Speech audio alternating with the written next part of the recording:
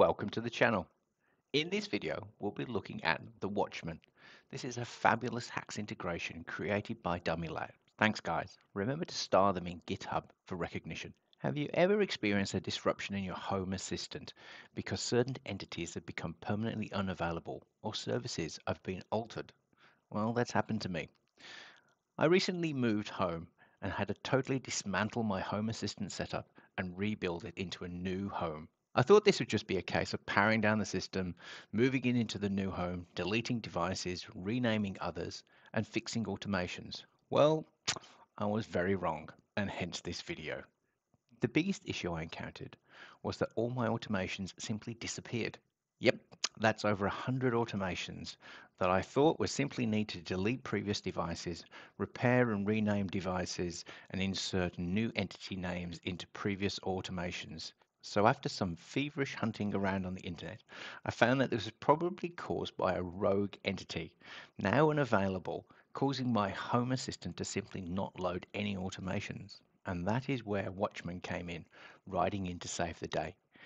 It identified these rogue entities so that I could delete them from the automation.yaml file, and after a quick reboot, all my automations were back. So in today's video, we'll be running through the installation of Watchman, how to run Watchman, running through the report that Watchman generates, what actions you should take based on the report that Watchman generates, and as a bonus, how to display the Watchman report inside of a dashboard to show your missing entities and services. I'll include timestamps in the description so you can jump to the relevant parts of the video that you're interested in. As you might already have Watchman installed, and simply want to know what to do with the output or how to display the Watchman output on your dashboard. So let's dive on in.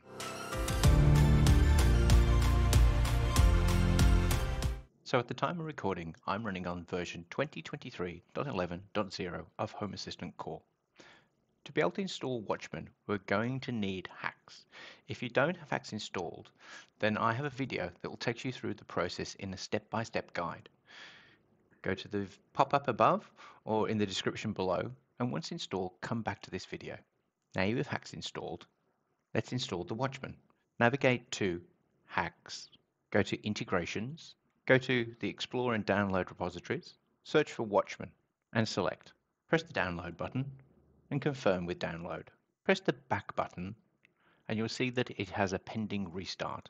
Press the navigate button, check your configuration Make sure the configuration will not prevent Home Assistant from starting. Press the restart, restart Home Assistant, and confirm with restart. And wait for Home Assistant to come back. Once Home Assistant comes back, let's add the Watchman integration. Navigate to Settings, go into Integrations, add an integration, search for and select Watchman. Optionally, you can give this an area I usually put items that are related to Home Assistant system into a system area. Press Finish. Select Watchman.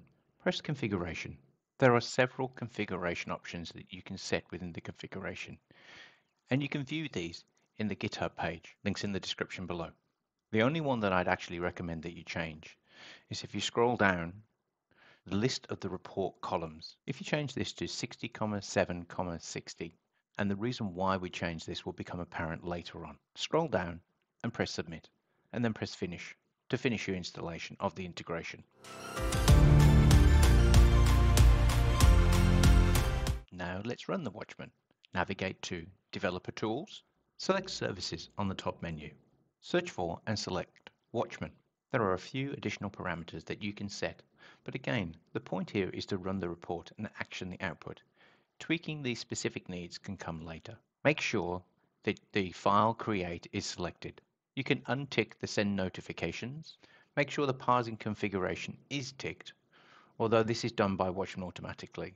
So I'm not sure why they left this in place. Check out the documentation and let me know in the comments if you know the reason why this is still here. Chunking size should be ticked and the value set to false. If you have exceptionally long reports and exceed the chunking size, it will create multiple reports, but it will still run and complete. Now press Call Service. The report is generated really quickly on my HP server and literally takes one to two seconds. And we're done. Only kidding. This is not the silver bullet that you all might have hoped it is. Now we need to go and review the report and action the output. So the watchman underscore report dot text file that was created will be located in the slash config directory. So we'll need a file editor to view this from within Home Assistant. I recommend using Studio Code Server as my go-to file editor. If you don't have a file editor and want to install Studio Code Server, then go to the link in the pop-up above or in the description below and come back to this video.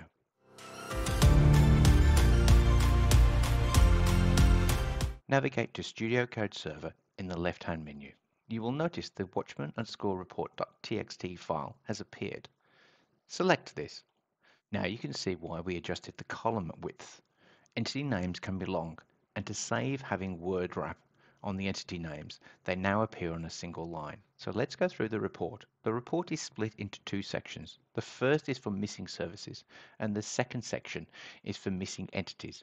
The principle for fixing these is the same. In this example, you will see that the lights.study underscore lights is missing. If you scroll to the right of this, you'll see the location of the missing entity is in my automation.yaml at lines 47, 53, and 59. If we now move across into our automations.yaml file and we go to the corresponding line, we will see the entity ID that is missing. If you scroll up from that point, you'll see an alias. You'll see that this is in relation to a lounge cube. This is the automation that we need to look for inside of our automations. Navigate down into settings, across into automations. Search for and select the lounge cube. Select your automation. Scroll to the relevant section. Expand it out and remove the offending entity. In this case, I'll be deleting the whole of this section and replacing it later on.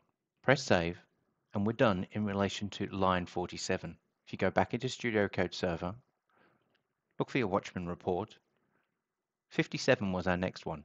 An important point to make here is that we've gone across and edited the automation associated with line 47. That has dynamically updated the automation.yaml file. Hence, the later lines that we have picked up inside of our Watchman report are now no longer relevant because the automation.yaml file has been changed. If you're going to make any modifications to the UI, that you process these missing entities in reverse order.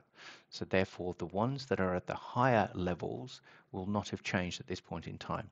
To demonstrate this, let's go and rerun our Watchman report. Go back in Developer Tools. We can leave all of the defaults alone again because they won't have changed from last time. Press Call Service. Go back into Studio Code Server. You'll now see that our numbers have changed. We no longer have three lines associated with the missing entity, we only have two. Previously, this one was at line 53. It's now changed to line 49. We can move across into our automation.yaml file, go down to our 49, and we'll find the missing entity again.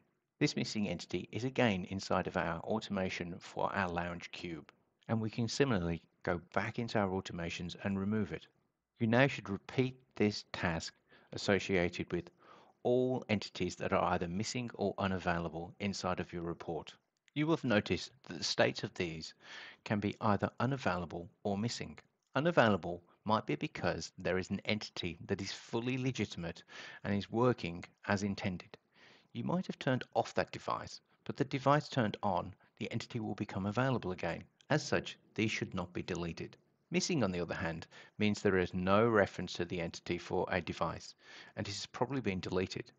So be careful in your actions that you take and understand what you're looking at before making changes. Another point to make is that if you are comfortable editing the automation.yaml file, you can do that directly within Studio Code Server. However, if you're like the vast majority of us, that when you've created your automations, you have done them through the UI, I would highly recommend that you remain in the UI and do not make any direct uh, updates to your automation.yaml file. If you make edits to your automation.yaml file and Home Assistant can't parse it, it will come back and will not be able to display it inside of the UI.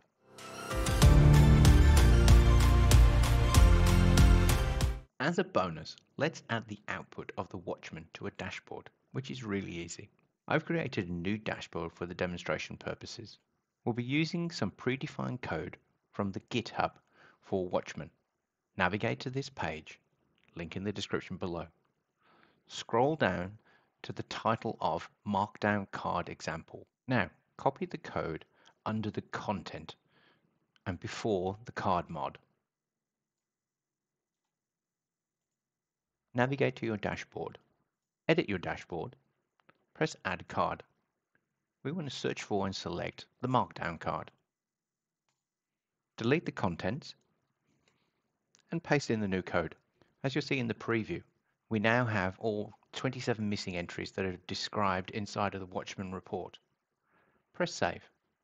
We can now do likewise in relation to the missing services. Navigate to the page, scroll down a little bit further, copy the content underneath the content label, and copy. Move back to your dashboard, add a card, search for and select Markdown card. Delete the content, paste in your code. As you see from the example, there's no preview available for this, and I believe that there was an error in relation to the code. Scroll across. Where it says services, we're going to replace this with entities. Once you've replaced it, you'll see that the preview has now become available. Press save. And we now have our Watchman report. To update the report, we simply need to refresh the page. As I said before, this is really quick on my HP server. It might vary on your machine based on the power of the machine itself.